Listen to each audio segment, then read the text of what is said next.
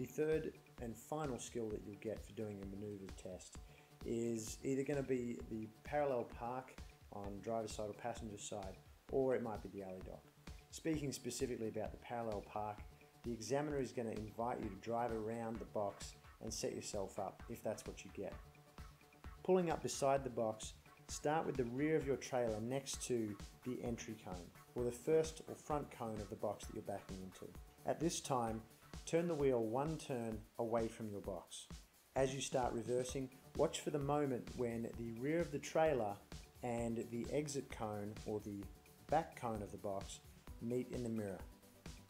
At this time, turn the wheel all the way toward the box and bring the tractor around to line back up with the trailer. At this time, you should be aimed in the back corner of the box and you should be aiming to cross into the box with your trailer wheels a little over halfway down the box. Once the trailer wheels start entering the box, what you're going to do now is you're going to turn the wheel all the way toward the box, which is going to curl the trailer into the box and also bring your drive wheels in too.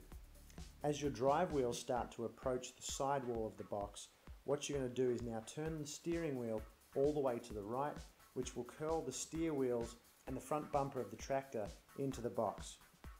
To square yourself up, you may need to do a pull up, check your mirrors on both sides, and use a get out to check your final position. A couple of common mistakes that a student will make is that they may not reverse the trailer deep enough into the box.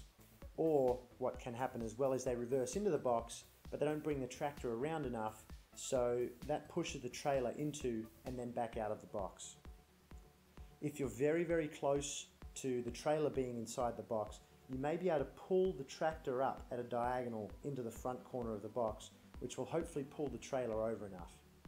However, instead of pulling it into the box, what you're probably better off doing is actually pulling forward, backing back out of the box, and then backing the trailer deeper into the box.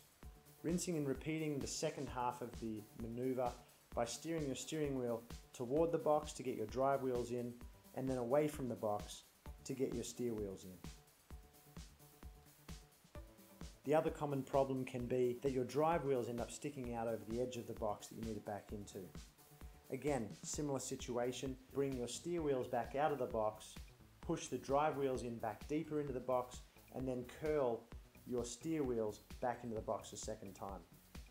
One of the common challenges with the parallel park is that you need to be mindful of a lot of your mirrors. You're going to be watching your convex mirror to watch your drive wheels against the side wall of cones to make sure that they don't hit.